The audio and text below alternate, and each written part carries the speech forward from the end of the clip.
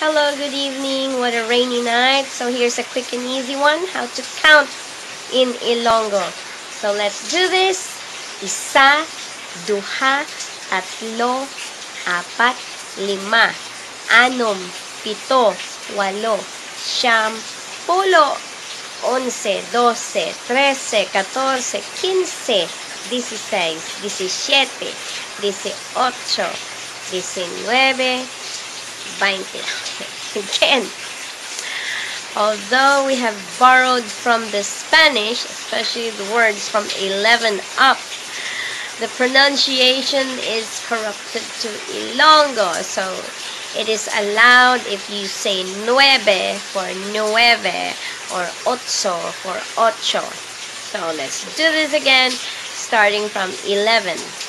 11, 12, 13, 14, 15, 16, 17, 18, 19, 20, 21, 22, 23, 24, 25, 26, 27, 28, 29, 30, 31, 32, 33, 34, 35, 36, 37, 38, 39, 40, 41, 42, 43, 44, 45, 46, 47, 48, 49, 50, 51, 52, 53, 54, 56, 57, 58, 59,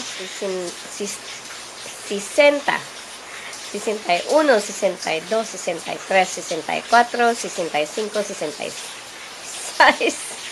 67, 68, 69, 70, 71, 72, and I have a hiccup, sido.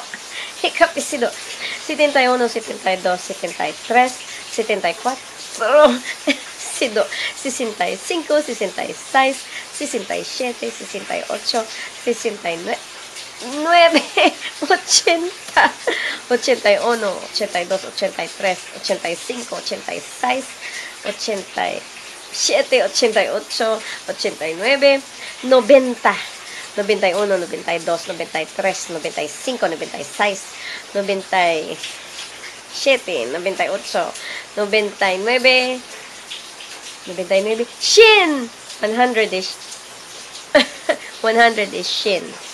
500 is 500. 1,000 is isa kalibo. So, 1,000 is libo. 1,000 is isa kalibo. 2,000, duha kalibo. 3,000, 4,000. Mean. Tatlo kalibo. Apat kalibo. Lima kalibo. Anom kalibo. Pito kalibo. What? Walo kalibo, siyam kalibo, jis mil, pulo kalibo, or jin mil, 100,000, quinientos mil, 500,000, isa ka milyon, mil is just 100,000, so, doscientos mil, uh, trescientos mil, cuatrocientos mil, isa ka milyon is 1 million, duha ka milyon, tatlo ka milyon, apat ka milyon, lima ka milyon, napulo ka milyon, 10 million. And 100 million, shin millones.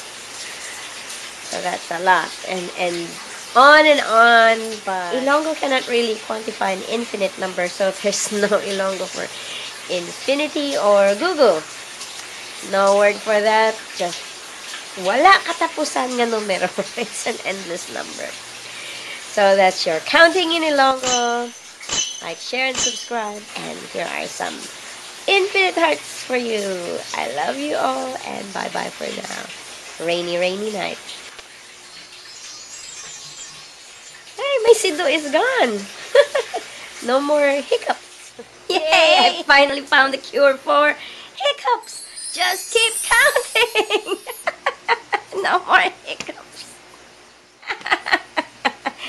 I viewed my video. It was so funny seeing me counting with the hiccups.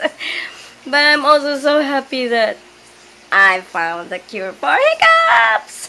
Keep